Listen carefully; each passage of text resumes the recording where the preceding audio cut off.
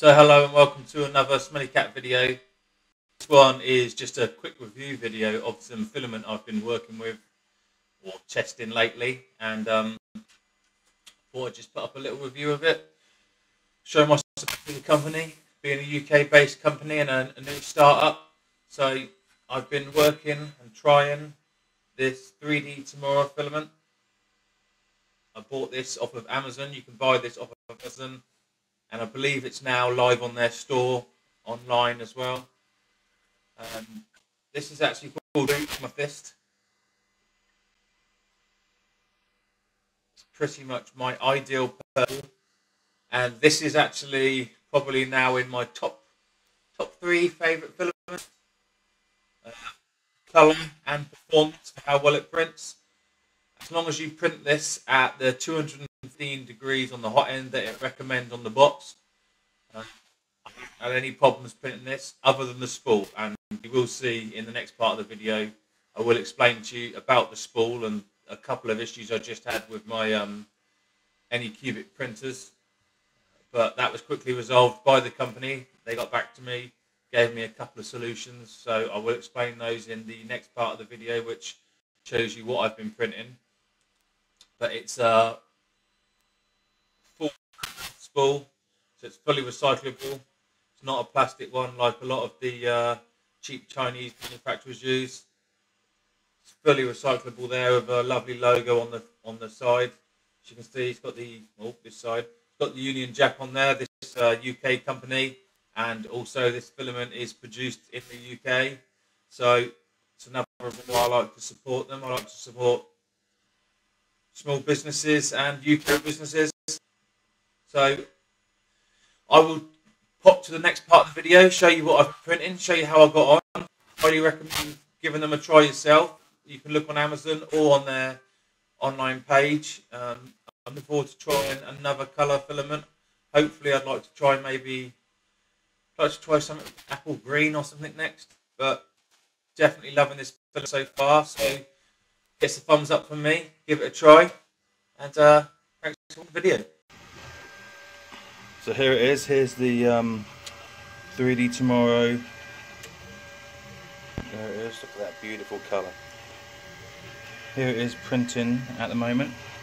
So I'm just making some brackets for my uh, fibre laser and also a large extraction adapter. Um, making slate tiles gives us quite a lot of uh, dust uh, so I'm making an extraction adapter that's going to reduce down to a smaller pipe. Smaller pipe's going to go down near the laser, but as you can see, it's printing away lovely. I have been doing quite a few prints in this now. What I thought I would just do is filming on this part is I had some issues with this when I first tried to print it. In fact, the uh, the reel actually fell off the printer itself. Um, you see a bit of wobble in there. The reel, the reel fell off because the reel, if you can see, it's very tight fit to these Anycubic. You've got you've got virtually nothing in there. They're very tight to these any cubic spool holders. Um, obviously, most spool holders, as you have down here on your uh, Ender 3, etc., they are round and they they've got quite a lot of length to them, so you can fit an extra wide reel on there. But on these Anycubics with this one over here as well. On a standard reel you've got a lot of room for play left and right. Um, it's was never been a problem I've never had a problem. I put this reel on here this 3D tomorrow stuff um, and I was like oh that's that is tight. And I couldn't get it to print. It was um, the reel fell off because it was too tight. It was snagging against this uh, down the side here. Um, so I contacted 3D Tomorrow.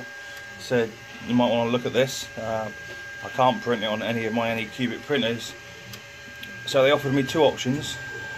One, they sent me the files to print and modify the spool holder, which was good of them. Um, as you can see, I didn't I didn't go down that route in the end. I, I will go down that route I think because I, I don't like these spool holders anyway. They cause too much friction. I'd much rather have a cylindrical spool holder on there to reduce friction. And if it could just be a little bit longer that would reduce any errors. You can see there's quite a bit of tension now. It's not running through the sensor. Because to be honest with you most of these sensors don't seem worth the effort. They are often they never seem to work half the time. Anyway so the other option that he offered me or you mentioned to me was where is it? Somewhere around there. I think it's probably down the back there. The two retaining holes in the centre of the spool which retain the start of the spool when it's very first wound onto the spool onto the reel there's two holes and I, I believe they're probably out of the minute just my luck uh, there we go let's there we go and see it here we go. So here's your hole here and here. That's the start of the spool right there where they they, they poked it through and first started uh, winding it. This would normally come out a, a fair bit further than that. And that was complete, completely what was causing my issue. That was snagging against this side of the spool holder and that's what made it fall off so he said cut it back. So I cut it right back pretty much flush. And as you can see I've been able to print with it. No real problems. So this is now possibly my favourite colour. It's certainly up there in, the, in my top three. It is a, a beautiful colour. I do love this. Feels uh, feels uh, very I can't even describe it very like corn like it uh, doesn't feel plasticky so it does work on Anycubics, but beware, you will need to either cut that off or modify the spool, spool holder. I'm going to do that anyway on these, these Anycubics. I've got three of them that have these spool holders on there. But it prints no problem on there and I'll just come over and show you some uh, other prints that I've been doing as well. Right, so other prints I've been up to. Um, I don't really like printing things just for the sake of printing. I don't really like printing just models. I like to print um, components that are useful, things that have a purpose. Um, so first off, I have a sheet of this. It's called white Alumilite.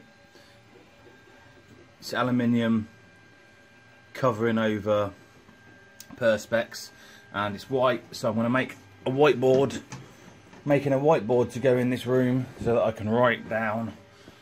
Easier keep track of the things that I need to be getting done.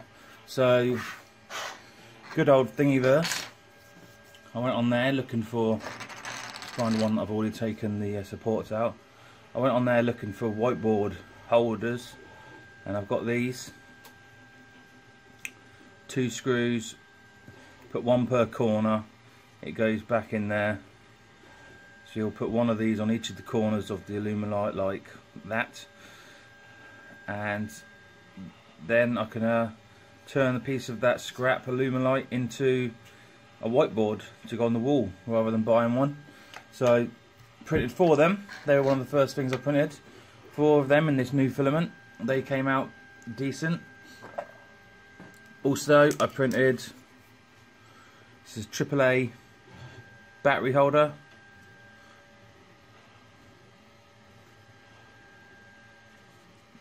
I did print this on.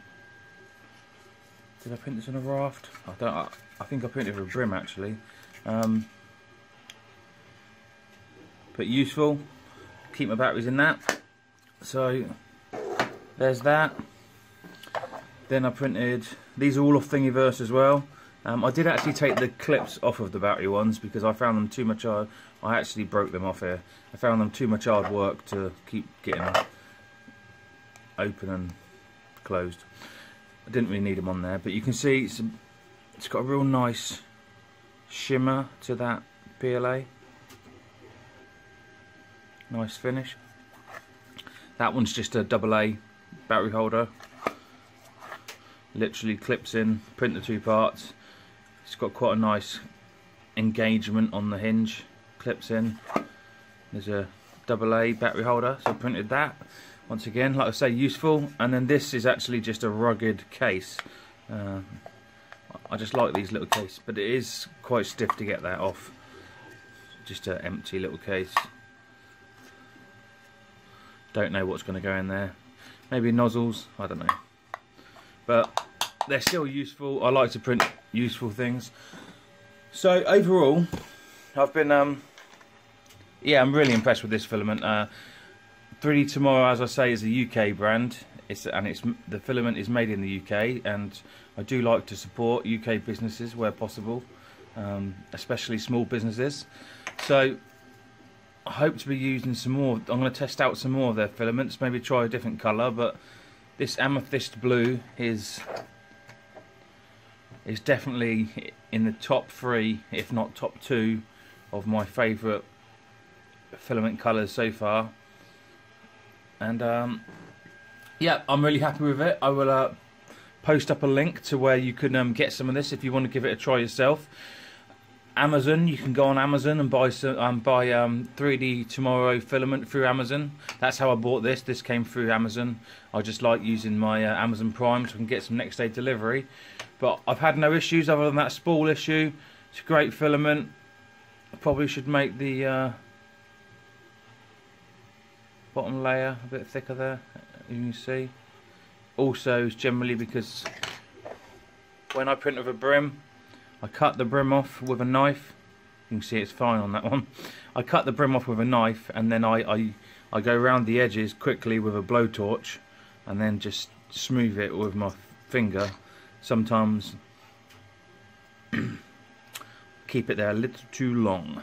But loving this uh, filament give it a look and uh, thanks for watching the video. I'm going to do another video shortly on I'm just making a new microwave fractal burning Lichtenberg device. So I'm just going to give you a quick little update on uh, how that's going.